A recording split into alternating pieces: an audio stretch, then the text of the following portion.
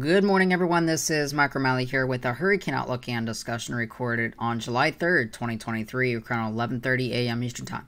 We have a lot to talk about today, including more tropical waves that are moving westward in the tropical Atlantic, what impacts those will bring to the Lesser Antilles over the next several days, and more tropical systems that could be forming in the eastern Pacific. So let's go ahead and jump straight into everything.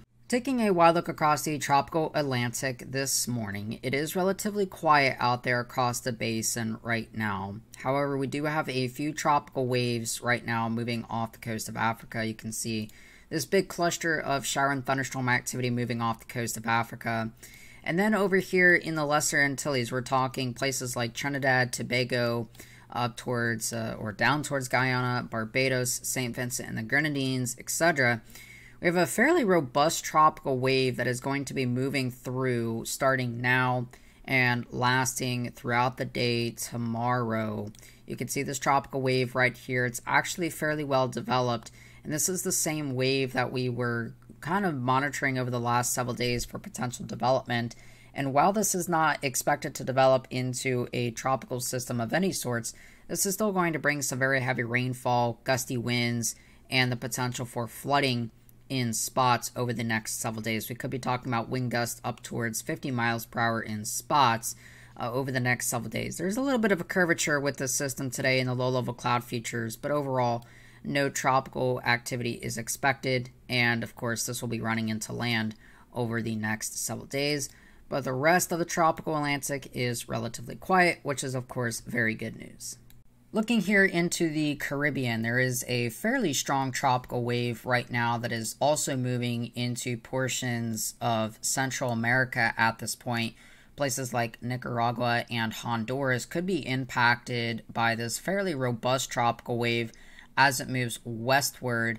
And over the next couple of days, this will also be bringing some heavy rainfall and gusty winds from time to time, the potential for mudslides, especially in those higher terrain elevation areas so do keep a watchful eye on that. But this is not expected to develop into anything like a tropical depression or storm. And then in the eastern Pacific basin, we are still watching one additional system out there. Right now, there is no real area of disturbance, but this general area within this orange here is where we could see our next tropical cyclone forming in the eastern Pacific south of the coastal part of Mexico.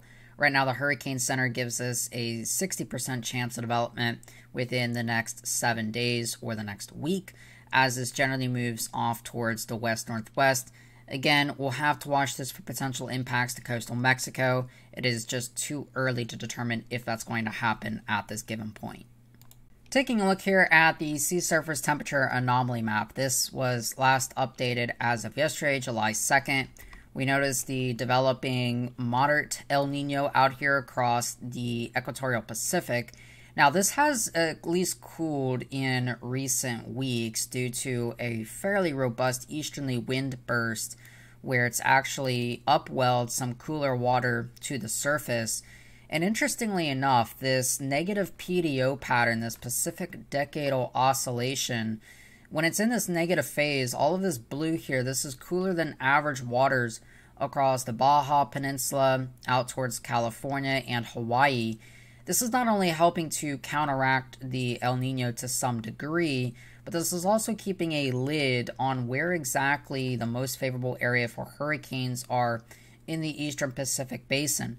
So really your most favorable area here, we'll draw it in green, is roughly going to be right through this corridor where the water temperatures are maximized. It can even extend that up to, uh, you know, coastal Mexico as well. But then in the Atlantic basin, it's fairly warm, although we have seen some cooling in the last couple of weeks. But relative to average, this is still about two, you know, one and a half to two degrees Celsius above the long term average.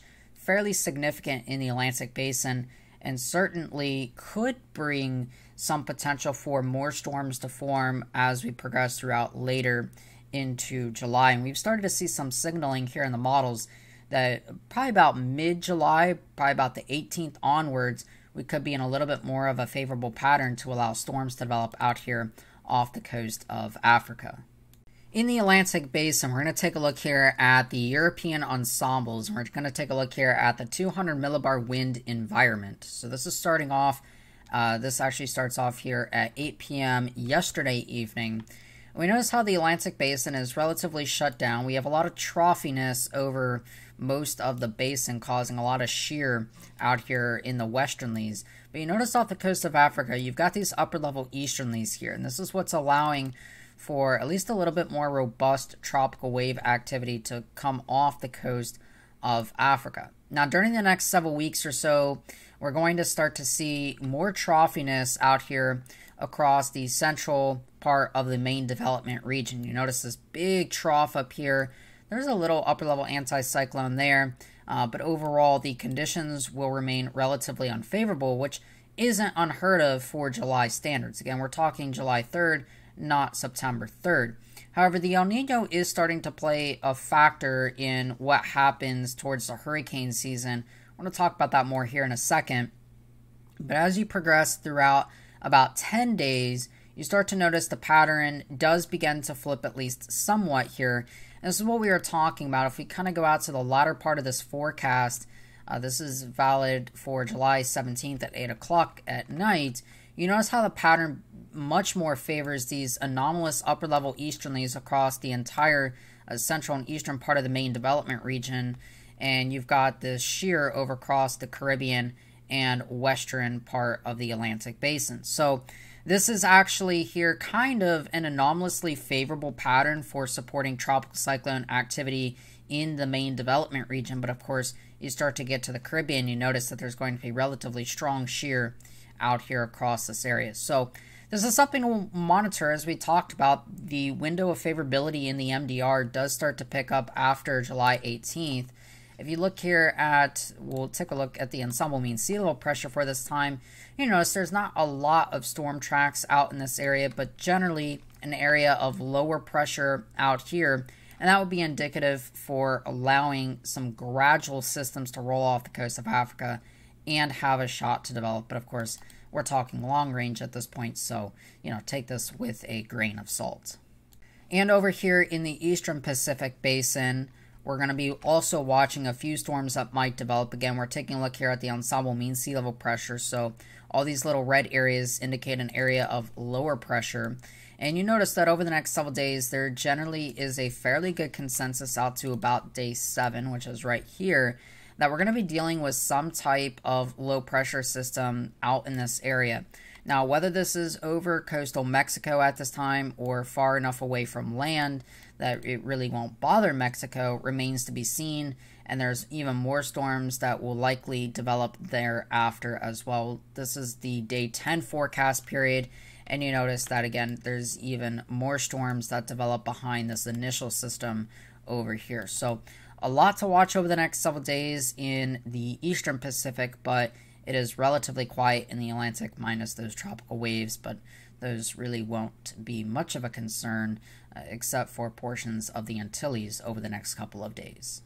We're also going to be monitoring several rounds of potential severe weather across the contiguous United States. Today, it's two slight risk areas, one up in the northern high plains and northwest U.S., and one out here in the southeast United States and also into the mid Atlantic and northeast states.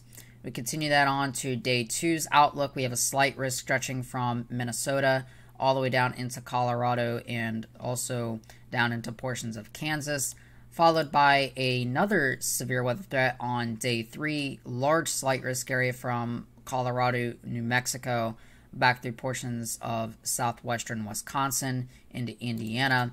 And then day four, we have another slight risk out across the northern high plains, places like Denver, Colorado, back and through the Texas and Oklahoma panhandle, and even up into portions of southeastern Montana. So, a lot going on in that realm. So, stay safe out there, all right?